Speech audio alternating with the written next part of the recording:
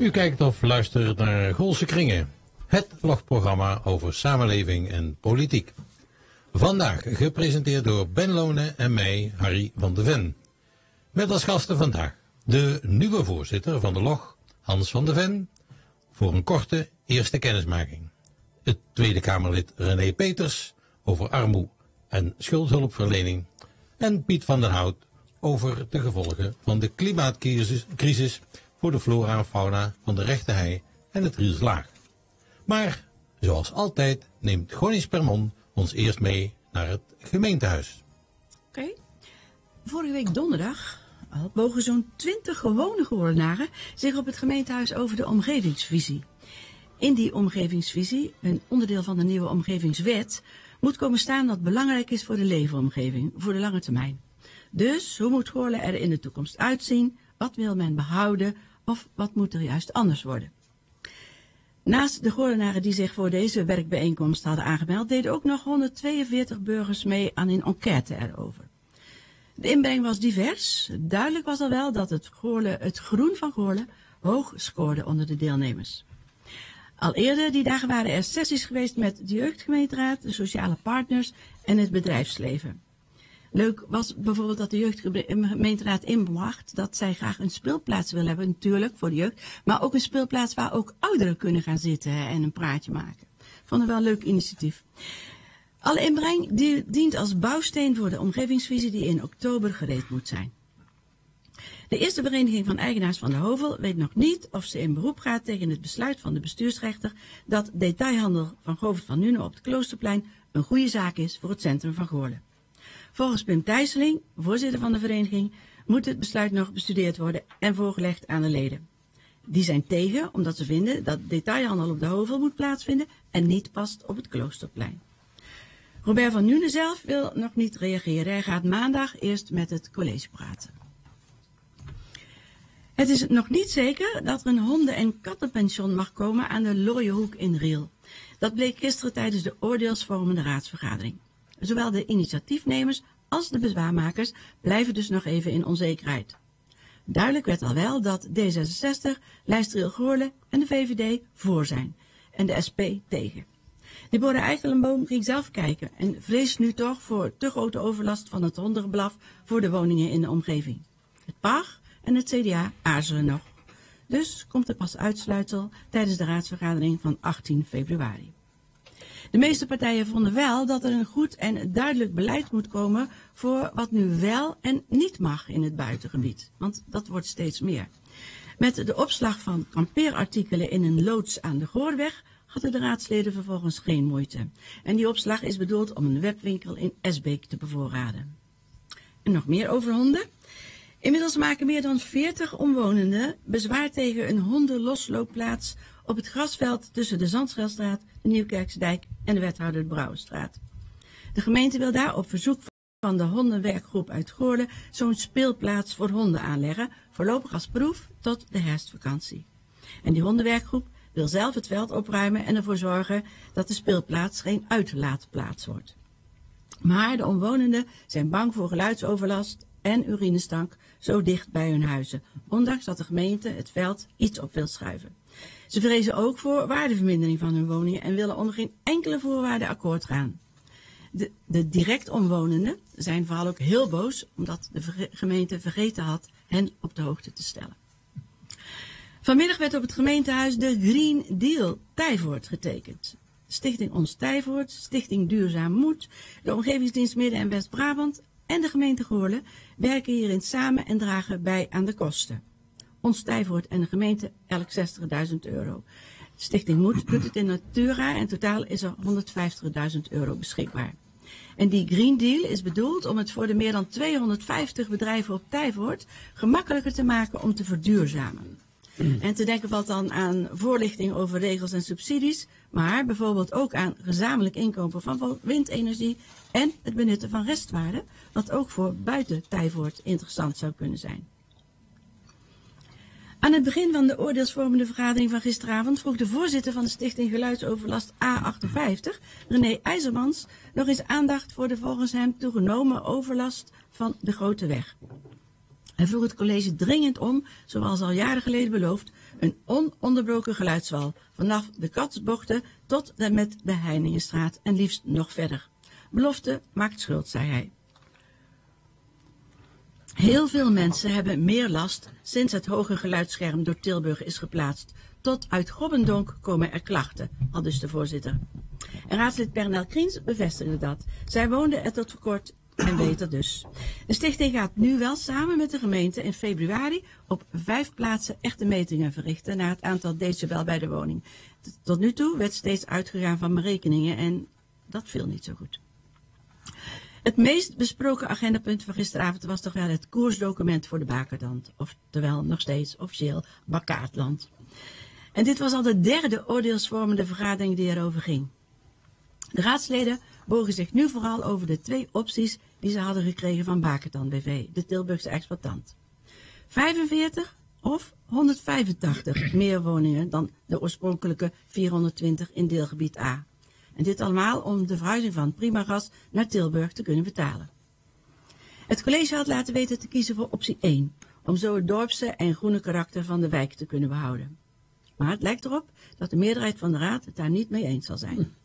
Lijster Goorle, de Arbeiderspartij en de SP maakten meteen duidelijk dat ze die extra 185, veelal goedkopere woningen, graag willen.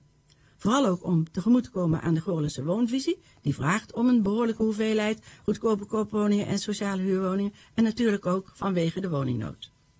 Een voorwaarde is wel dat die extra woningen uit het woningcontingent van Tilburg komen, vond Schelkes van Lijster Goorle. Anders moet Goorle op andere plaatsen minder bouwen. Het college had op een vraag van de VVD over ditzelfde onderwerp al laten weten dat dat inderdaad zo is. Dus het kost Groningen, Goorle in ieder geval geen woningen. Deborah Eikelenboom dacht dat je ook een wijk met duidelijk meer woningen groen kunt maken. Met bijvoorbeeld geveltuinen. En je krijgt ook meer ruimte als je gestapeld bouwt. Bijvoorbeeld flatjes van drie hoog. De andere partijen waren dus nog niet zo duidelijk in hun keuzes. Het PAG en ook het CDA voelen zich voor het blok gezet. De jongheren van het PAG sprak zelfs van chantage door Bakertand BV. We moeten een van deze twee opties kiezen, anders worden er veel minder huizen gebouwd. Of misschien wel niet, zei hij. Het CDA ondersteunde hem. Waar hoort dit financiële risico nou eigenlijk thuis? vroeg Maxime Vonk zich af. Het is inderdaad een chantagevoorstel. Het is nu of nooit en we moeten nu iets kiezen. Is er nog niet een optie 3? vroeg ze zich af. De Laat van de Arbeidspartij vond dat je niet gedurende de rit de prijs kunt verhogen en de tegenvallers op het bordje van de gemeente leggen.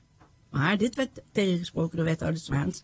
Die zei dat het voor Goorlen geen financieel nadeel is. Bakertand BV betaalt prima gas en we krijgen er alleen maar woningen bij. Als dit nu niet gebeurt, krijgen we prima gas nooit meer weg en kunnen we ook niet bouwen in ons gedeelte van de Bakertand, zei hij. En ook dat dan het hele plan op zijn gat ligt. Aan de VVD had hij al eerder laten weten dat er dan ook nog wel eens financiële consequenties zouden kunnen zijn. Er bleven toch nog veel zorgen in de Raad over de verdeling van de woning in de wijk en de gemiddelde prijzen. Daarom komt de wethouder voor de besluitvormende vergadering van 18 februari met cijfers daarover. Als de Raad uiteindelijk zou besluiten om voor optie 2, de wijk dus met veel meer woningen te kiezen, maakt het college daar geen halszaak van, zei Zwaans. Ook al zien wij liever een ruime dorpse wijk. Vorige week werd ook bekend hoe de taken van de vertrokken wethouders, wethouders Schelkens tijdelijk verdeeld gaan worden. Even de belangrijkste onderdelen. Johan Zwaans, de woningbouwprojecten Zuidrand, Bakertand en Heijsteeg en duurzaamheid. Piet Poos, ruimtelijke ordening buiten de bebouwde kom en volkshuisvesting. En Mario Imming, de omgevingswet en energie, grondstoffen en biodiversiteit. En naar ik heb gehoord, gaat het tot zeker eind februari duren eer er een nieuwe wethouder bekend is. Er zijn al wel gesprekken met meerdere kandidaten. Tot zover, Harry. Mm dankjewel, uh, Connie. Het was toch weer een uh, hele verzameling geworden. Was een hele verzameling. Maar misschien even een goede aanvulling nog. Ja? Uh, ik heb er best nu al veel over gezegd. Maar volgende week komen een aantal raadsleden praten over de bakerdand. Dus dan horen we het uit hun mond. Oh, dat is yes. een goede tip voor de luisteraars, luisteraars voor ja. volgende week. En dan zijn we nu toe aan uh, het woordje van onze voorzitter Wil van der Kruis. En Wil is ruim vijf jaar voorzitter van de LOG. En heeft in de tijd de LOG gered van een dreigende ondergang. En momenteel weer, zit er weer volop nieuw enthousiasme in uh, de LOG-organisatie. Er zijn meer medewerkers, behoorlijke programmering, Maar het hoogtepunt is toch wel wat hij bereikt heeft. Dat de log vanaf 5 februari van, door alle providers uh, doorgestuurd wordt. Zodat iedereen in Goorlen daar naar kan kijken. Een mooi moment om het stokje van de voorzitter door te geven. En Wil zal zelf introduceren bij wie dat, dat dan gaat gebeuren. Laat ik, laat ik beginnen met te zeggen, Harry, dat de financiële consequenties van het feit dat we voortaan op alle providers te zien zijn, dat die op het bordje van de nieuwe voorzitter terechtkomen. Dat is nog niet eenvoudig.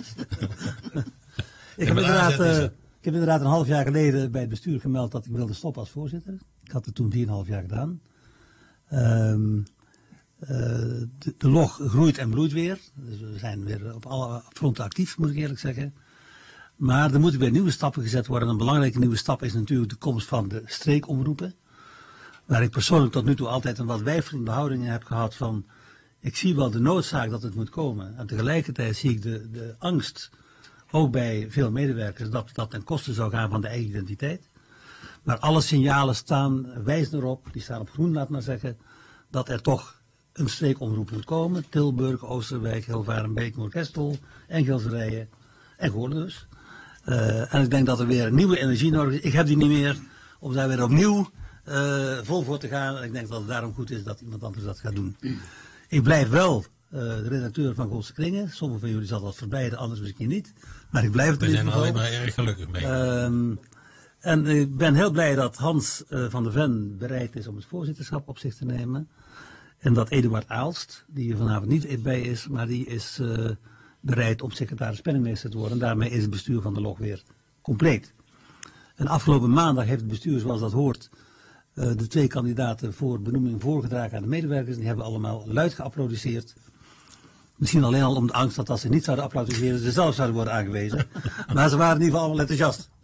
En het lijkt me goed dat, uh, dat Hans zich even voorstelt voor onze kijkers en luisteraars als de nieuwe voorzitter van de lokale omroep. Hans. Dankjewel Wil. En welkom. Ja, merci. Voor het eerst, uh, nee niet voor, het, voor de tweede keer trouwens in deze studio aan het woord. Want ik mocht hier eerder zijn toen ik nog net niet in Goorlen woonde. Maar wel betrokken was bij het CPO-project uh, De Bosrand. Waar ik de communicatie deed in het bestuur. En nu ben ik hier dus voor de tweede keer, nu als echte bewoner sinds anderhalf jaar in, uh, in Goorlen. Dat is een van de redenen waarom ik dacht, dat lijkt me wel iets uh, in het bestuur van, uh, van de log. Maar ook omdat ik uh, ben met het communicatievirus. Ik doe dat beroepsmatig in de praktijk met een eigen bureau. werk voor opdrachtgevers die ook bekend zijn, zoals de gemeente Tilburg, de Rabobank in Tilburg en omstreken. En ik ooit voorzitter ben geweest van communicatieclub Bourgondië, typisch Brabantse vereniging van beroepsoefenaren in de communicatie. Al die dingen, die dingen tezamen en het idee om iets te doen voor deze samenleving dat was eigenlijk mijn motivatie om met jou in gesprek te gaan. Toen vertelde je het overigens niet bij over die financiële repercussies ten aanzien van de, van de providers. Maar goed. Ja, heeft hij verborgen gehouden. Ja, die volgorde breng je natuurlijk heel voorzichtig aan, dat begrijp ik. Dus dat, is, dat lijkt me geen probleem. Maar ik heb al de nodige stukken mogen lezen, mensen gesproken. En ik heb er zin in, mag ik zeggen. Het lijkt me heel leuk om, uh, om te gaan doen. En het eerste wat op ons bord ligt is uh, de nieuwe licentie voor de komende vijf jaar uh, voor elkaar zien te krijgen. Bij het commissariaat. Lijkt me geen probleem trouwens. Nee, tenzij er nog andere aanbieders komen. Ja, maar dat, die lijken mij toch niet. Uh, wie zou dat moeten zijn? Uh, niet... Zou Omroep Tilburg. Tilburg. Nou, dat lijkt, dat lijkt me niet. Er zit ook een redelijk nieuwe voorzitter. En volgens mij heb je daar een constructief gesprek mee gevoerd. En zijn er ook zelfs gedachten om samen uh, proefuitzendingen te gaan maken. En dat lijkt me trouwens de beste oplossing. Niet te gaan bouwen aan een structuur van een nieuwe streekomroep. En een pilot te beginnen of wat dan ook. Maar samen eens kijken wat je van de grond kunt tillen aan een mooie uitzending. Bijvoorbeeld over het klimaat in de regio. En zo kijken hoe je kijkt kunt gaan vinden in de toekomst. Ja. Nou, communicatievirus, uh, wat een woord. Uh, virus uh, communiceren nogal, hè? Ja, die, dat klopt. En die, en die steken ook nogal aan. Ja. Dus wees gewaarschuwd, zou ja, ik zeker. zeggen. Ja, ja. Godverdorie. Ja. Goed, Hans, hartelijk dank voor je uiteenzetting en veel succes als de voorzitter van de LOG. Dankjewel, we zien elkaar, we horen elkaar. Merci. Zo is dat. We hebben hier ook aan tafel zitten René Peters. René is afkomstig uit Os en is Tweede Kamerlid uh, voor het CDA. En Ik hij, voor iedereen, maar inderdaad namens het maar CDA. namens het CDA, ja. inderdaad. Heel goede correctie. Ja, je zit er alweer even, hè? Dus. Ik zit er alweer even, ik leer snel. Ik leer ja. snel. Nou ja, als je moties aangenomen krijgt, kamerbreed, dan kun je terecht zeggen dat je er voor iedereen zit, hè? Ja. Nou, zeker als die moties ontraden zijn, wil eigenlijk zeggen dat de minister zegt, ik wil het liever niet. En als je dan, dan toch iedereen op jouw lijntje krijgt, dan is dat wel mooi. Toch? Ja. Welke minister ontraadt dat dit zo was, nou, in dit geval was het de staatssecretaris van ARK, van de VVD. Ja, zij, eigenlijk denk ik dat ze stiekem toch wel met me eens is. Maar dit is voor de vorm dan? Of? Nou, kijk, het gaat zich om uh, een aantal moties rondom schulden en armoede. En dan mensen die in de schulden zitten, hoe je die er eigenlijk met iets meer gemak uit zou moeten kunnen krijgen. Want op dit moment, wat we ook proberen, er gaat. Je, waarschijnlijk ben je effectiever als je iedereen een gratis staatslot geeft. Het kost nog minder ook. En het, uh, je bent effectiever dan hoe we dat nu proberen. En er zijn gewoon dingen die je hinderen. Uh, daar hebben we, en, en nou, die heb ik proberen uit de weg te helpen. Dan wil je zeker weten welke dingen. Ja, ja, ja. ja, ja, Maar wij hoeven niks te interviewen, hij veronderstelt de vraag. Ja, ik veronderstel de vraag. Nee, uh, nou het eerste is, als, stel u bent in de schulden en u gaat naar de gemeente. Dan zegt ik, ben, ik heb schulden en ik wil daar graag vanaf natuurlijk. Dan uh, gaat die gemeente contact opnemen met al jouw schuldeisers en dan uh, daar ja, om te achterhalen hoe groot je schuld is en zo. Nou, het probleem is dat heel veel van die schuldeisers de telefoon niet oppakken bijvoorbeeld, of niet reageren. Die, hebben, die, eh, die redeneren zo van, als ik nou niet reageer, dan gaat de rente omhoog, meer rente, meer kosten. En als ik uiteindelijk maar een percentage terugkrijg, dan heb ik liever zo'n hoog mogelijk bedrag schuld bij die mensen natuurlijk. Nou, dat noemen we dan uh, in gemeentekringen de zogenaamde stabilisatiefase. Maar dat betekent voor zo'n burger wel dat hij een, een drie kwart jaar lang zogenaamd wel geholpen wordt, maar dat er eigenlijk niks gebeurt. Dus wat ik heb gezegd is, nee, ik wil dat zo'n die schuldeisers binnen een korte tijd reageren. En als ze niet reageren, nou dan vervalt die schuld. Ja, dat is wel een heftig iets natuurlijk. Maar het zou ook, ik denk dat dat wel een stok achter de deur is dat ze wel degelijk gaan reageren.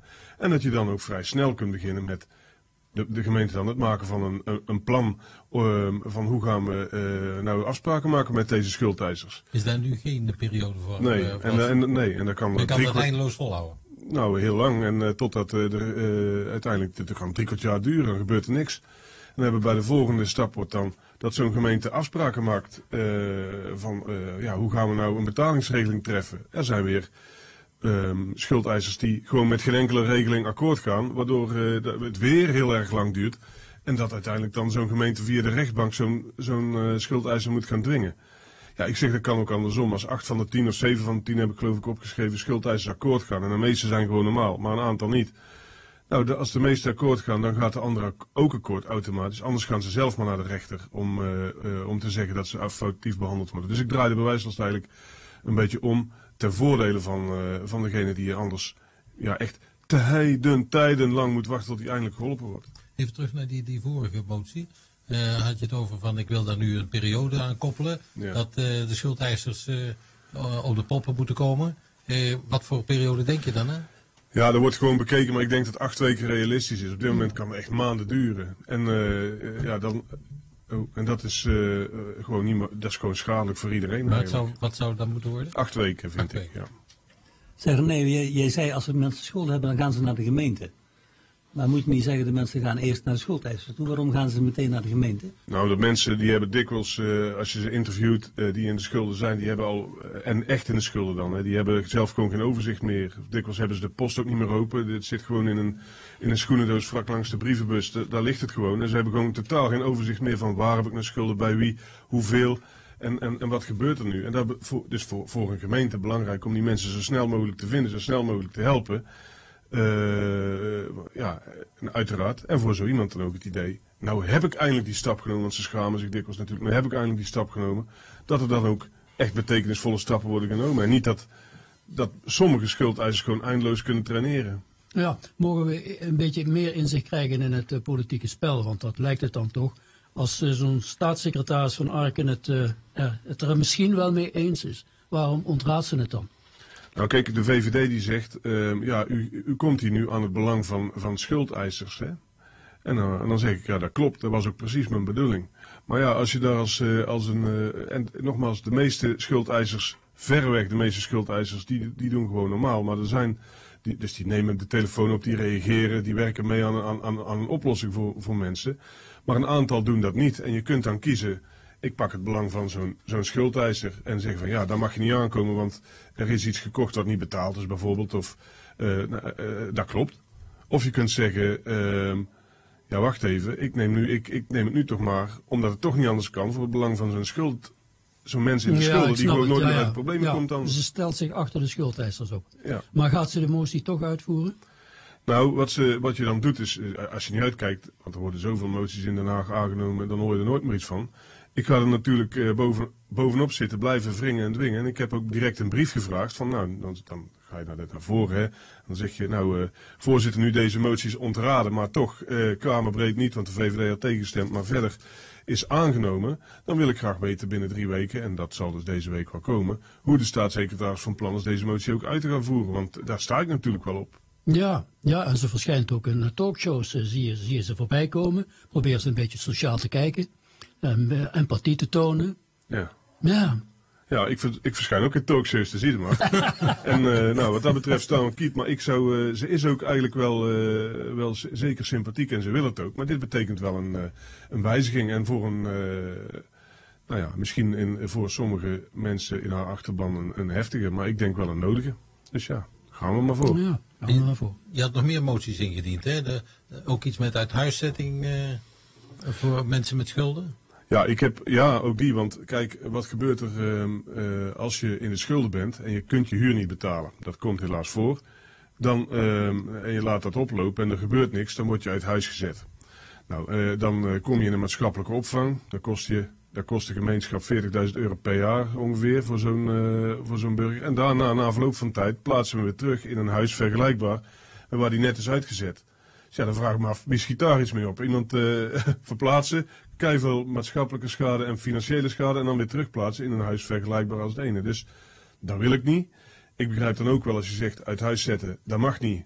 Dan betaalt niemand meer zijn huur. Dus wat ik nu heb gezegd, ehm, want sommige mensen vragen te laat hulp. Nou, daar hebben we het net al over gehad. Het, mo- het moment komt dat u uit mogelijkerwijs uit huis gezet gaat worden. Daar heb ik een bevel van. Dat heb ik hier in mijn hand. Ik ga u van de week uit huis zetten. Tenzij u hier tekent bij het kruisje. Dan voorkom ik die uithuisplaatsing. Maar dan eh, accepteert u wel hulp en verliest u even tijdelijk uw financiële onafhankelijkheid. Ja, daar heb ik, ben ik al twee jaar over aan het zeuren. Maar nu is het uiteindelijk ook aangenomen. Dus eh, die gaan we ook uitvoeren. Ja. En eh, dan was er ook nog een met het uitzonderingsjaar. Ja, die is wel een beetje heftig. Want wat betekent namelijk, de overheid ehm, is een, een grote schuldeiser en eigenlijk de grootste schuldeiser. Dus De belastingen. de belastingen, CIB, ja. Wat gebeurt er als u iets niet betaalt? De, nou, laten we zeggen, als ik te hard rijd met de auto, dan krijg ik een boete. Die komt thuis op de deurmat. Mijn vrouw is boos. Als ik die niet betaal, dan komt een verhoging, dan is ze woedend. Dan betaal ik hem dus meteen. Dan werkt die verhoging. Maar als ik hem nou niet kan betalen, dan, eh, dan werkt dat niet. En dan, en dan blijven we maar verhogen. Want wij zeggen, hij wil nog steeds niet betalen, nog meer. Hij wil nog steeds niet betalen, nog meer. Nou, op een gegeven moment dan komen mensen dus met een relatief klein aanvangsschuld. Door die, doordat wij denken, verhogen betekent sneller betalen, enorm in de problemen. Nou, toen heb ik bedacht, als wij nou als overheid die schuld dus zelfstandig kunnen vergroten, dan kunnen we als overheid ook zelfstandig weer terug verkleinen. Dus als ik nou weet dat ik hier een, door mijn eigen verhogingen een oninbare vordering heb, dan weet ik zeker, en ik zou hem kwijtschelden, dan kost hij in de echte wereld geen geld. Op papier kost het miljarden natuurlijk, maar die ging je toch nooit in, want die mens kon niet betalen. En dan zeg ik, laten die verhogingen, waarvan ik weet ik kan ze niet in, in dat totaalplan meenemen en dan gewoon eh, wegstrepen. Ja, dat vinden ze revolutionair. Maar eigenlijk valt er wel mee, denk ik. Ik denk dat dat gezond verstand is. Ja, ik denk ook dat het gezond verstand is. Het is zo common sense. En eh, je, je snapt dus waarom daar eh, brede steun voor op te roepen is. Ja, er is wel brede steun voor. Maar er zijn ook, ja, in dit geval zijn ook coalitiepartijen. Ik weet ook niet goed, goed meer uit mijn hoofd hoe dit gestemd is, maar de VVD was ook tegen. Dat je gewoon, ja, die zeggen dat kost miljarden. Ik zeg nee, dat kost geen miljarden, want ik ging het nooit in. Want die mensen Ja. konden dat niet betalen. dus papier. het kost op papier veel geld. En Ja. dus ik ben wel heel benieuwd hoe dat dan weer boekhoudkundig gefabriekt gaat worden. En ik dus, daarom is dit nog niet helemaal geregeld natuurlijk. Ik heb die motie, ik wil zien hoe dat kan. En dat dat inderdaad geen geld kost. Maar volgens mij als ik aan jou zeg, eh, ik krijg een tientje, dan wordt nu 15, dan 20 en ik weet zeker dat ik er nooit ga krijgen. Ja, dan eh, kost het in het echt geen geld, denk ik dan. Maar ja. Ja, ja, ja, dat zouden wij ook denken, denk ik, hier rond deze tafel. Nou ja, dan is, dan is het zo, dat snap ik niet, dat ze nog moeten uitzoeken. Zonder concurrentie. Eh, eh, zonder concurrentie. Zonder concurrentie. Nee, maar het Ja. moet eerst altijd uitgezocht worden. Hè? Dan- Deze wil ik wel even laten uitzoeken, want kijk, het kan natuurlijk niet zo zijn. En ook in dit geval, ik zeg niet dat jij je boete niet moet betalen. Natuurlijk moet jij je boete betalen. Als je het hard hebt gereden, moet je je boete betalen. Als je een schuld hebt gemaakt, moet je hem betalen. Maar als je hem de, blijft verhogen als prikkel om hem te betalen en het kon niet, dan verzinnen we maar iets anders. Verzin een taakstraf of zo, dat kan ook. Ja. We hebben trouwens nog steeds een, een wet, die wordt niet zo vaak meer toegepast, maar uit, eh, die is gewoon eh, echt uit, de uit de Gouden Eeuw, zeg maar.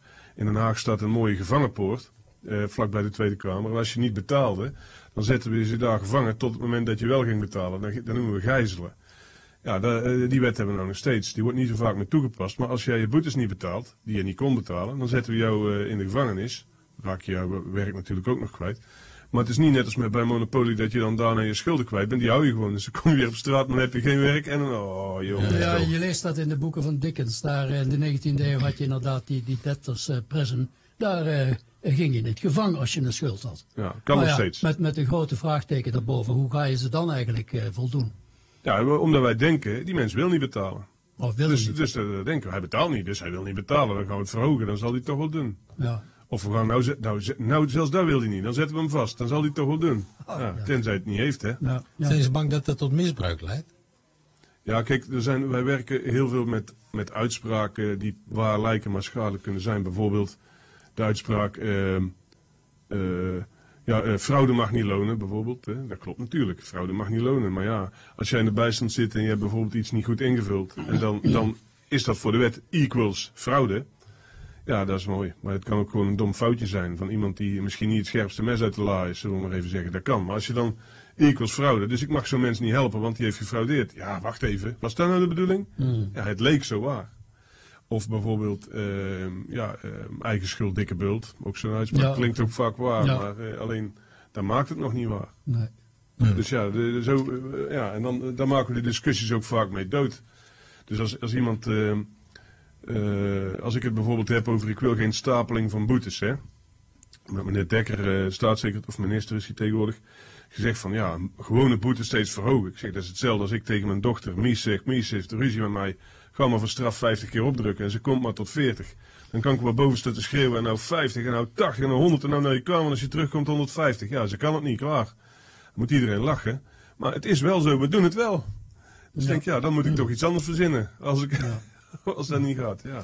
Maar eh, ja, het vergt een soort flexibel denken dan. Hè? En, eh, eh, en dat is heel moeilijk om daar in de politiek en in de wetgeving heel recht in de leer te blijven. Ja, daar winnen mensen wel wennen. Maar ik denk, merk wel dat het langzaamaan begint wel... Als je twee jaar lang blijft dit soort voorbeelden geven, dan beginnen ze toch wel te denken, daar redden hem weer. Maar aan de andere kant Oh, dat helpt. Helpt het denk ik wel. Hij is toch aangenomen. Dus eh, het helpt wel. Ja, eh, ook hier weer eh, een vraag hoe, hoe het eigenlijk precies werkt. Eh, kunnen we hier een onderscheid maken tussen de functionaris en, en de mens? Dus dat je als, als staatssecretaris zegt nee, dit kan ik niet doen.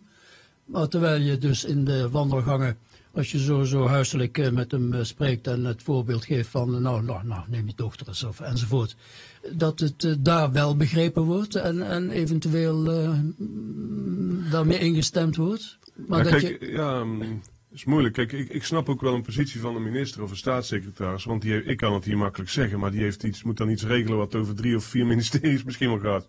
Dus die krijgt daar een bult werk mee, voorkomt er eens om. Ja, ik denk oké.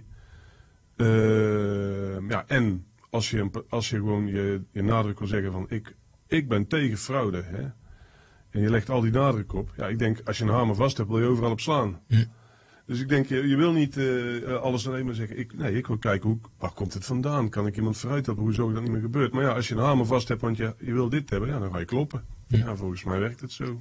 Ja, dat is ook weer de vraag van de menselijke maat en, en de overheid als machine. Hè? Eh, die met, eh, Ja, precies. met- Maar wij kicken op rechtmatigheid, moet ik zeggen. Hè. Dat Ja. vinden wij echt fijn. Dat we langs alle wetten, en dat is ook heel, heel grappig eigenlijk, dat we dat ter linkerzijde en rechterzijde eigenlijk allemaal willen. Want ter linkerzijde zeggen we, even in de zorg bijvoorbeeld, ik wil wel dat iedereen eh, recht heeft op zorg. En wanneer weer, want, en dan moet je het nauwkeurig omschrijven. Want anders ben je afhankelijk van een willekeurige overheid. En ik moet tenslotte naar de rechter kunnen als ik niet krijg waar ik recht op heb. Dus rechtmatigheid.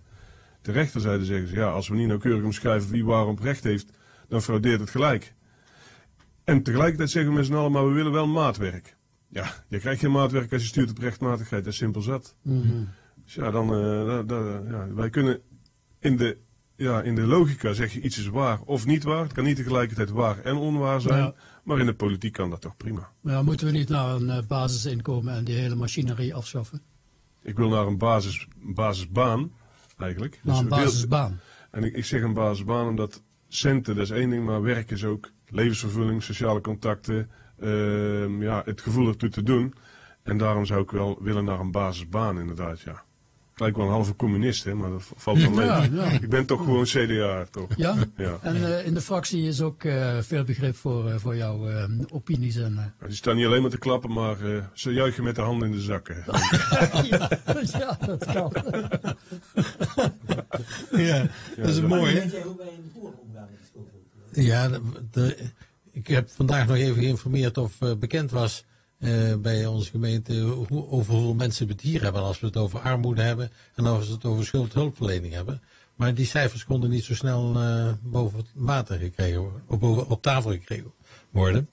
Eh, maar ja, er zijn allerlei meedoenregelingen en zo die men probeert in het leven te roepen om toch iedereen mee te laten doen. Maar Ja. het stuit altijd weer op het probleem, wat je zelf net ook al zei, van de mensen schamen zich voor hun situatie. Ja, en ja. hoe krijg je die mensen dan in beeld? En, eh, nou, soms, eh, en wat dat betreft is er ook nu een project eh, gestart in de gemeente, waarbij ze samenwerken met de Woonstichting en met een aantal andere instanties, belasting. dat, dat deed men natuurlijk al, maar een aantal instanties om signalen door te kunnen krijgen, zodat je die mensen wel kunt gaan vinden. En nou, wat dat betreft is het denk ik goed dat er dat soort initiatieven zijn. Zeker. En, en zeker ook jouw initiatief, of jullie eh, initiatieven die eh, hier vanavond besproken zijn. Eh, wanneer kunnen onze mensen daar iets van gaan merken, denk je? Nou, ik, ik vrees dat, dat ambtelijke molens traag malen, maar ik blijf gewoon net zo lang zeuren totdat het er is. Je durft nog geen tijden te noemen. Nee, nee, dat, kan, dat, dat is moeilijk. Ik denk bijvoorbeeld die van, ehm, ehm, eh, van bij uithuiszettingen, die laatste kanscuratelen, zeg maar, die, die motie, die zal wel snel kunnen, omdat die, ik heb hem eigenlijk uitgeschreven, dat hoeft er alleen maar in. Eh, ik denk eh, die wettelijke termijnen, ja, dan ga je echt wel. Het is, je komt ook aan eigendomsrecht. Hè. Je zegt dat is allemaal wel, dat is, wordt, wordt lastiger. Maar het kan wel. In Engeland doen ze het. Waarom zouden wij die hier niet kunnen? Zijn ze daar nou zoveel socialer dan in Nederland? Ik denk het niet. Nee. De Tories. Nee, die Tories ook niet. Nee. maar, je- ja. maar zijn misschien wel in dat vlak misschien rationeel. Denk ik, Ja, als je, en, ja. eh, in Wat Engeland is trouwens, pragmatischer. trouwens wel, wel grappig. Daar is het, het, gekke is dat je 500 pond moet betalen om geholpen te worden. Als je in de schulden zit. Dus je gaat naar een winkel en dan betaal je 500 pond. Ja, het is, dat is dan wel weer een- het hilarische ervan. Maar goed, dan kom je bij een advocaat. Die maakt een plan. En dat plan is iedereen mee akkoord bij wet. Ah, Dat is dan wel goed. Ik zou dat wel willen, maar dan min die 500 pond. ja, Als het even kan. advocaten moeten ook leven. Die moet ook leven, mag ik ze zeggen. Er hoeft geen advocaat te zijn op kosten van zo'n cliënt, zou ik zeggen. Dat kan de gemeente Ja. toch ook wel doen. Ja, ja. Nou, de gemeentes hebben het tegenwoordig lastig. Hè? Je had het net al over de jeugdzorg. Heel veel gemeentes hebben er last van. Hè? Heel veel gemeentes hebben er last hoe, van. hoe, hoe wordt er in eh, Den Haag over gedaan? Nou kijk, er, zijn, er, er wordt onderzoek, is er naar gedaan vorig jaar al. En naar de jeugdzorg, dat is trouwens ook mijn portefeuille. Daar komen drie grote conclusies uit. Conclusie 1 is, gemeente gaan failliet. Conclusie 2 is, gespecialiseerde jeugdhulp, sterk huis hier, maar ergens anders ook, heeft het zwaar te halen. En conclusie 3 is, eh, dat we zo onbeschrijfelijk veel meer kinderen professionele hulp gaan geven om groot te worden. Dat, eh, ja... En dan kun je toch afvragen, is het echt waar dat 1 op de 9 en in sommige gemeenten 1 op de 7 kinderen professionele hulp nodig heeft om groot te worden? Zit er hier iets in drinkwater? Of overdrijven we Ja, een klein beetje? ja, ja, ja. Nou, ik, eh, Ik vrees het laatste. Ja, ik, ik, ik denk, ze- ja, het is het laatste. Ja, ja, en we ja, hebben ja, dan- ja, ja. En we hebben blijkbaar ook niet zo goed zicht op de verleners ervan. Hè? En in hoeverre dat die allemaal eh eh, recht door zee eh, zijn. En wat dat betreft heb jij ook een idee, las ik in je blog, over de sociale recherche. Ja, ja. Kijk, ik, het is zo dat gemeenten die hebben, eh, die contracteren heel veel aanbieders.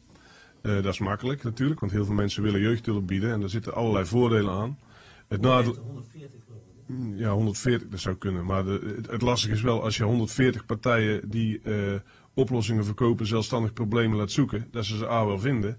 Dus dat is alleen, dan krijg je wel meer kinderen helpen. Maar B, je weet ook niet precies wie die bedrijven zijn. Ik weet niet, eh, dus dan denk ik, je komt achter eh, een zorgbedrijf. Ja, je, die, je mag je, of je nou diploma hebt of niet. Als jij zegt, ik, ik lever jeugdzorg, dan kan dat in principe. Dan vragen gemeentes dikwijls las ik naar. de betonvlechter zijn bijvoorbeeld. Die, Nou, eh, letterlijk. Je hebt, eh, ik krijg van de sociale re- regisseur uit Os, ik heb natuurlijk nog ook wel contacten. Die heb ik natuurlijk wel toen al wel ook op, om die instellingen te kijken. Ja, je komt op een jeugdzorginstelling in handen van een voormalig betonvlechter met nog 28 andere bedrijven op dat pand ingeschreven. Dan kun je afvragen van ja, is dat nou de bedoeling? Nou nee, maar het is ook heel moeilijk om dat te controleren als je 160 of tot 400 aanbieders hebt die eigenlijk vrij drempeloos kunnen gaan beginnen. En de meeste deugen, hè, verreweg de meeste deugen, maar een aantal niet. En dan dacht ik, ja, we hebben toch die sociale regisseurs. Laten we die dan eens in plaats van, of misschien ook, eh, voor- vooral in te zetten op, eh, op eh, bijstandsfraude, ook eens inzetten op, eh, op, op zorgfraude. En Ja. gewoon zoek die bedrijfjes eens even na waar je eigenlijk allemaal contact mee hebt. Hebben die mensen inderdaad een diploma wat ze zeggen dat ze hebben? En wat is hun nummer dan? Ehm, hoeveel panden hebben ze eigenlijk? Wat is hun wagenpark? Kan allemaal. hè. Ik bedoel, eh, waarom, ze- leg eens uit waarom die betonvlechter dan ineens verstand zou hebben van jeugdzorg. Ja. Nou, en fijn. Dus dat was maar een idee. Dat is wel goed opgepakt. Veel gemeentes vinden het een leuk idee. Nou, doen dan hè. Oké. René, eh, ik denk dat wij een beetje af moeten gaan ronden in dit gesprek. Hij zei dat jij nog een prangende vraag hebt. eh. Nou ja, we halen in korte tijd eh, heel veel eh, overhoop. Ik denk dat dat eh, op één daar zeker drie avonden voor zou uitrekken. Daar zou het veel meer uitgesponnen worden. Ja. Wij, wij doen het dus wat, eh, wat beknopter. Nou, en dat ging toch ook heel goed. Nou, dat ging ook Ja, heel dus, goed. eh, Jazeker. Ik Ja. zou zeggen, laten we op één maar iets van leren dan. Goed zo. Oké. nou, hartelijk dank eh, voor jouw aanwezigheid, je komst hier naartoe in je hele drukke politieke leven. En eh, weer wel thuis. Graag gedaan. En als het geregeld is, dan kom ik het wel vertellen. Goed zo. Oké, ja, ja, dankjewel. fijn. Bij deze afgesproken. Dan eh, gaan wij eh, naar onze laatste gast eh, voor vandaag. En dat is Piet van den Hout. En eh, wat ik begrepen heb, is Piet toch eh, eh, iemand die, die rechten gestudeerd heeft, eh, in de advocatuur gewerkt heeft. Maar dat beviel hem niet zo goed. Vertel eens Piet. Ja, dat was heel lang. eh, ik, ik vond het recht wel heel leuk. Ik heb dat eh, eerst in, eh, in, in de termen van promotieonderzoek gedaan. En dat, dat vond ik heel leuk. Ik vind onderzoeken leuk, vind schrijven leuk. Dus die combinatie vond ik heel erg leuk. Ehm, maar goed, toen was die promotie klaar. En, en toen kwam de, ja, de gang naar de praktijk. En ehm, ja, daar voelde ik me een beetje gewurgd door de dossiers. En eh, ik, weet, ik, vond het, ik vond het buiten, als ik uit het raam keek, zag ik de koperwiek op trek overkomen. Dat vond ik eigenlijk veel interessanter. dus ik, eh, ik, ik was daar niet zo blij. Dat, eh, nee. Je was eigenlijk weer dat basisschoolkind die in de klas zit en liever naar buiten kijkt dan naar de leraar. Ja, nou ja, ik, ik had natuurlijk wel mijn, mijn plichten daarbinnen, maar ik had wel moeite om ze te vervullen. En ik voelde gewoon dat ik daar niet op mijn plaats was. Dus ja, En toen kwam er een carrière switch. Toen kwam er een carrière switch. Ja, toen ben ik biologie gaan studeren. Ja. En wat eh, met die biologie, dat heb je niet zomaar gaan eh, studeren? Nee, nee, ik ben- ik dat, heb- dat voldeed aan jouw eh, wensen Ja. om meer naar buiten te gaan, neem ik aan? Zeker. Eerst is het natuurlijk vooral theorie. Ik heb mijn eerste gedeelte in Utrecht gedaan en daarna de, de stages in Groningen. Toen kwam ik al een beetje dichter bij het vuur, want toen doen ze dierecologie. En eh, vanuit Groningen heb ik nog, daar heb ik nog een stage gedaan aan, eh, aan, eh, aan een koolmezen, dus dat was echt al buiten. En nou, zo, zo onder een boompje koolmezen ringen, dat vond ik al geweldig.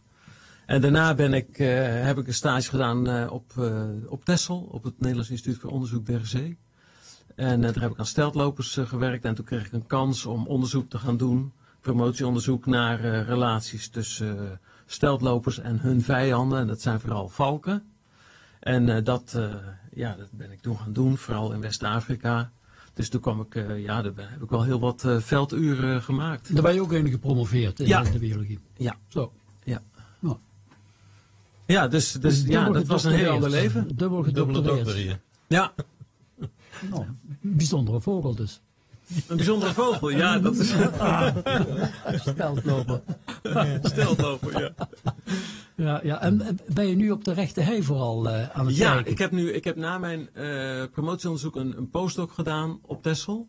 En, eh, ja, en toen trad er een soort verzadiging op. Ik was alleen maar aan het rekenen en het rekenen. En ik, ik voelde de natuur niet meer. En ik had ook een enorme drang tot schrijven. Omdat ik mijn. Dat ik, mijn ik was niet voor niks eerst jurist, dat was vanwege mijn talige interesse.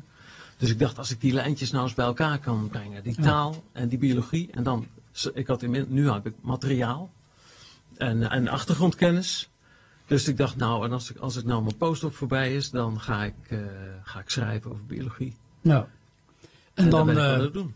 woon je in Riel, heb ik Ik woon op, eh, in Tilburg. in Tilburg. Ja, Maar je bent zo op de rechte heide. Want daar, Ja, daar ben je drie fietsen. keer per week, heb ik dat goed gelezen? Ja, ja, dan ben ik... Voor zonsopgang. Ja. ja Dan liefst is er het meeste te zien. Ja, zeker. Ja, Ja. leg dat eens uit. Nou ja, de, kijk maar naar een zangvogeltje. Die, die moet, zeker nu in de winter, die moet de hele nacht doorkomen. En in de nacht verliest hij enorm veel gewicht. Want, want hij, hij begint, nou ja, het- is een warmbloedig beest, dus die heeft s'avonds nog gegeten. En die, en, en die verliest gedurende de nacht eh, gewicht. En eh, ja, hoe kouder het is, hoe hongeriger die wordt in de ochtend. Dus in de ochtend is het, eh, moet meteen moet er, moet er wat bijgehaald worden, moet er gegeten worden. En in het broedseizoen wordt zodra het eh, een klein beetje licht wordt, dan wordt er gezongen om eh, territorium te verdedigen. Dus eh, ja, zodra er eh, Een het beetje, een beetje begint te gloren, dan, eh, dan komt er eh, activiteit. En dan ben je ter plaatse. En dan ben ik erbij. En dat is al eh, over een, eh, een reeks van jaren zo? Nee, Nee? Nee, dat ben ik. Dat ben ik, eh, ik- eh, eh, want ik, ik woon nog niet zo lang permanent in Tilburg. Ehm, maar ik heb nu, ik, ik heb het plan opgevat toen om een boek te gaan schrijven over de heide. En, eh, en, en dat was omdat, omdat ik nu op, weer op één plek woonde en ik dacht, nou krijg ik de kans om eh, zeg maar eh, helemaal verstrengeld te raken met dat gebied. Om steeds naar hetzelfde gebied te gaan. Dus mijn, mijn decor gelijk te houden. En op die manier het, het seizoen te zien voorbij trekken. Ja. En dus ik, ik, ik, ik wil een natuurdagboek schrijven. Door jaar rond in het, heel vaak in het gebied te zijn. Zodat ik elke hoek en ga- gat ken. En de beesten, vaak individueel ook beesten ken. En eh, nou, ik ben nu bijna rond. Ik ben Oh. vorig jaar eh, februari begonnen. En, eh, dus dat, ik ben bijna rond. En dan ga ik het allemaal aan elkaar schrijven. En dat dagboek is in de vorm van een blog eh, ook? eh, Dat, is nu, als- dat zijn eigenlijk de piketpaaltjes voor het boek, die, dat blog. Ja. En dat ga ik uitwerken straks tot een boek. En als het jaar rond is, dan wordt het een boek. Ja, En dan is het een boek over een jaar op de rechte hei in feite. Ja, het ga, ik weet de titel al, Op de huid van de heide. Op de huid van de heide. Want dat is precies wat ik wil. En eh, ja, dat wordt een natuurdagboek over de heide. En daarin beschrijf ik dus wat ik, wat ik zie. En ik ga er dus ook niet planmatig heen van nou ga ik dat eens onderzoeken of, of dat. Nou, dat wordt een laat- bestseller in Goorlen Dat, Tuurlijk dat wordt het een bestseller. Dat, dat, eh, dat wordt... eh, Ja, ja. Ja. Ja. Nou, en eh, wat, waar ik ook naar streef is dat het boek niet, het boek gaat niet alleen over de rechte heide. Het gaat over biologie. Het had ook over een ander gebied bij wijze van spreken kunnen gaan. Maar ik, maar ik heb de rechte heide gekozen. Ik vind het een mooi gebied. Maar ook, zoals ik al zei, ik wil dat decor stilhouden. Kijk, als ik alsmaar weer naar andere gebieden ga, dan kun je die koppeling niet meer maken. Ja. Dus dan kun je het seizoen niet meer scherp zien. En je Nee. ziet het seizoen het beste als je steeds Ja. naar dezelfde Wat gaat. vind je van de rechte hei? Hoe is de staat? Hoe is, hoe is de toestand van, van de rechte hei? Ik denk dat, dat het met de rechte heide, eh, voor zover ik kan inschatten. Ik heb natuurlijk niet, eh, ik ben niet een Brabant van geboorte, dus ik heb niet heel veel jaren op die rechte heide doorgebracht. Maar ehm, ik denk dat het, dat het best goed gaat met de rechte Ja? heide. Ik ben, eh, laat ik het zo zeggen, ik ben onder de indruk van wat ik daar zie. Ja. Ja, en, eh, en ik denk dat dat komt omdat eh, men zo'n, ik denk dat het nu al wat 20, 30 jaar geleden is, is, men de, is er in de, hei- op de rechte heide, vooral het Rielslaag, heel veel gebeurd. Vroeger was dat nog landbouwgebied, hè, waar is er, is er over dat Rielslaag wat, wat, moe- wat moerassen waren, allemaal grond gestort om, om landbouw te kunnen bedrijven. Dat is er, als ik het goed heb, zo, zo rond de jaren 1990, is, de, is men dat te gaan afhalen. En is men dat beekdal gaan terugbrengen, Ja. gaan vernatten en een beetje gaan stuwen, zodat er wat water op kwam.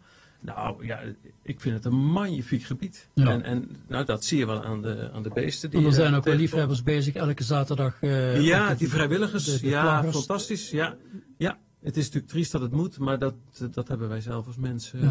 eh, in gang gezet. En die discussie die we hadden over dat, eh dat Schelpenpad eh, regelrecht overheen voor ten behoeve van rolstoelrijders, eh, die heb je nog gevolgd? Ja. En heb je daar ook een eh, mening over? Of dat Ja, goed heb was? of, mening eh, over. dat Ik, het- ben, ik heb me daar verder niet, eh, ik ben er niet actief, eh, ik heb er niet actief in gemeld. Nee. Eh, in, in, eh, Is het schadelijk of kan het wel? Kan het leiden? nou, ik- nee, ik, ik, ik, ik vond het niet fijn. Want Nee? ik vind, nee, ik vind zo'n gebied dat we dit nog hebben, dit heeft een, he- zowel natuurwaarde als een historische waarde. Hoe dit gebied, als je kijkt wat een, ik bedoel, heel Brabant was. dit is grafheuvels nog be- met, met de historie. Nou, niet alleen de grafheuvels, maar het hele gebied en de geomorfologie. hoe dat, dat als je op bepaalde plekken op de hei zie je gewoon nog de rivierbodem liggen van de Maas van, van miljoenen jaren geleden. Ja, dat is- ongelooflijk. Ja. En, dat, en dat, het is gewoon een heiligdom. Ja, En, en daar leg je zo'n pad niet over. Nee, Nou nee ja. dat is, ik was daar niet blij mee. ja, nee. We komen er veel eh, fauna ook tegen. Veel vogels komen er tegen. Ja, Ja. ja daar kom je veel Wat dat betreft is het eh, Ja. ook een, een gezond gebied. Wat Ja. komen we nou zoal tegen? Dan? Wat kom je daar zoal tegen? Ja, waar moet ik beginnen? Enorm veel. Wel, eh, dit seizoen, nu? Ja? Nou, Oh, dat, verschilt, ook- dat verschilt ook wel. Ja, zeker. Oké. Ja, Ah, ja, dat verschilt natuurlijk. Er zijn trekvogels. Er zijn beesten. Ik bedoel, ik, ik zag eh, afgelopen maandag eh, de eerste roodborstenpuit weer. Nou, die zijn de hele winter weg geweest. Oh, ja, Die zijn ja. het najaar vertrokken Ja. en die komen. Nee, maar het zijn wel eh, vogels die hier ieder jaar weer terugkomen. Dat bedoel ik eigenlijk. Of, Ja, of bedoel ja. je dat er zelfs ieder jaar andere zijn? Nee, nee, niet andere individuen. Andere vogels dan met name. Nee, nee, de vogelbevolking Ja. is, is grofweg natuurlijk elk jaar eh, gelijk. Ja, precies. Ja, zeker, zeker. de En koekoek is er nog niet. die is er nog lang niet. En hoe heet onze beroemde hoer? Oh, Oh, dat was het korhoen. Dat is al lang Ja, geleden dus verdwenen. Ja. Ja. Nou, Ja, ja. Er zijn nog Nee, pogen die heb ik nog wel gezien. Toen kwam ik net in Tilburg wonen. Toen heb ik nog net eh, de korhoen, de laatste korhoen gezien. Ja, ja. de laatste. Ja, dat was de Maar Wim de laatste. Jong heeft geprobeerd ze terug te brengen. hè. Dat weet ik, ja. ja. Maar dat is mislukt. Dat is nogal mislukt, ja. Nogal. Nou ja, ik- ja ik heb wel gehoord dat Zijn ze opgevreten ging. door, door vossen? Ja, ze gingen overal heen en, en Ah. ja, dat, dat is niet zo goed gelopen. Ontsnapte. inderdaad. Ja, ja, Hmm. ja, ja, dat is- Maar even terug naar de vraag van welke vogels komen ze al tegen? Nou ja, op dit moment eh, grote zilverreigers, klapekster zitten nu op de hei. Spreeuwen, zou je denken gewone vogel, maar ik vind spreeuwen ontzettend interessant. Vooral als je individuen leert kennen. Ehm, maar ehm, ja, heel veel vinken. Echt, maar echt eh, eh, honderden eh, vinken, echt zwermen van vinken met kepen ertussen. Kruisbekken, goudvinken. Zo. Ja, ja, er zit van alles. De hegemus komt die er ook? Ja, de hegemus komt Zou je ook. iets kunnen vertellen over de hegemus? ja, spannende vogel, hè? Ja, mensen vinden de hegemus vaak heel interessant omdat hij, omdat hij als promiscu wordt gezien. Maar eh, ja, je zou kunnen zeggen dat het vrouwtje van de een uitermate uitgekookte vogel is, omdat hij meerdere mannetjes aantrekt. En elk mannetje dat, dat hij aantrekt, die denkt dat hij dus de vader van de jongen wordt, als die paart met het vrouwtje uiteraard. En die zal straks die jongen gaan voeren. Dus als ze verschillende mannetjes aantrekt die elk denken dat zij de enige ware zijn, dan krijgt ze dus heel veel assistentie bij het eh, opvoeden van, eh, van de jongen. En, maar wat er gebeurt, en, ja, dat is het mooie, ik heb het een paar keer gezien bij hegemussen, als die gaan paren, dan, eh, dan eh, ontstaat er een heel ritueel waarbij het vrouwtje haar eh eh, kloaken, hè, dat is dan de uitgang van de, betekent letterlijk goot, een hele oneerlijke Ja. term, die zet ze helemaal open en eh, een mannetje begint erop te pikken. Mhm. En, eh, en, en die begint erop te pikken zodanig dat op een gegeven moment het mannetje het, het laatste zaad dat hij ontvangen heeft, heeft eruit werpt. De, het zaad van de voorganger. Zaad van de voorganger waarmee hij gepaard heeft. Pikt die eruit. Althans, dat denkt dat vrouwtje. dat, daar komt al zaad uit. Daar komt al zaad uit. Maar ze houdt in de regel een klein beetje achter. Maar dat weet hij niet. Dus dat is een ongelooflijk. Nee, ja, dat, dat, dat, daar zijn wetenschappers voor om dat uit te dokteren. ja, ja, ja. Ik heb het niet persoonlijk uitgedokterd, maar ik weet dat het uitgedokterd is. Maar dat, ja, dus het is, ze hebben een enorm interessant liefdes, liefdesleven waarbij eigenlijk de, de heimelijkheid een hele grote rol speelt. Ja, ja, ja, ja. Ja, interessant. hè. Ja, als katholiek moet ik dat allemaal goed afkeuren. Maar eh, toch, toch is dat kennelijk eh, Ik vind het zo. mooi eh, dat zeggen, goed afkeuren. De, de Er schepper heeft dat toch zomaar geregeld en dat is toch interessant om, om daar kennis van te nemen. Eh, dat is de hegemus. Zijn Ja. wij meer vertrouwd met, met de huismus? Zou je misschien het verschil kunnen, kunnen schetsen tussen een hegemus en een huismus, zodat Ja. wij dat op ons netvlies je, kunnen? ja, mensen hebben vaak moeite om al die vogels te onderscheiden. Het eerste wat je moet doen is naar de snavel kijken. Want daarmee kun je alle categoriseren. Hegemus is een hele andere vogel dan een mus. Het is geen mus. Oh. En dat zie je al aan de snavel. Het heeft een priemsnavel die, ge- die gemaakt is om, Stompen. om eh, insecten te pakken. En een, en een huismus heeft een kegelsnavel. Stompen. Een stompe snavel, ja, een kegelsnavel. En die is eh, ingericht om eh, zaden te eten. Dus de, de, de huismus en hegemus, dat, dat, is gewoon, dat zijn twee werelden. Dat zijn twee, twee Maar het verendek, eh, hoe ze eruit zien, lijken, lijken ze op elkaar? Nou ja, heel, heel oppervlakkig. Oppervlakkig. Ja, er zijn zoveel, mogelijk, zoveel vogels bruin zoals de mustard is, maar, maar nee, dat is wel heel oppervlakkig. Als je goed naar een hegemus kijkt, dat is echt een heel andere vogel dan een Een mus. heel andere vogel. En de grasmus ook, dat is weer een ander. Dat is ook geen mus. Ja, wat Dat, er zit nogal wat verwarring ja, eh, ja, vaak. ja, ja, Ja, interessant hè. Ja, Maar we kunnen jou, of de mensen kunnen jouw verhalen en dergelijke ook allemaal teruglezen, ook op internet, eh, begreep ik hè? Ja, ik, eh, ik schrijf eh, mijn avonturen op in blogs. Ja. Ja, dat klopt. En, dat is op pietvandenhout.com. pietvandenhout.com. Ja, Zeker een keer naar kijken, zou ik tegen iedereen willen zeggen. Want daar kom je, lees je de mooiste verhalen. En wat mij dan zo opvalt, is eh, als ik zelf over de rechte hei loop, zie ik lang niet wat jij allemaal ziet.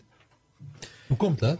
ja dat, dat, Dat, heeft, zal wel aan mij liggen, maar dat heeft de twee... misschien- Nou ja, ik, ik kan niet, natuurlijk eh, dat, dat niet verklaren. het ik ben niet zo'n vogelaar, dus ik ben Nee. ook niet zo'n kenner. Nou, de meeste mensen die over de hei lopen, die gaan samen. En daar is op zich niks mis mee. Maar die, die praten over hun leven en daar is ook niks mis mee. Maar dat heeft een kost.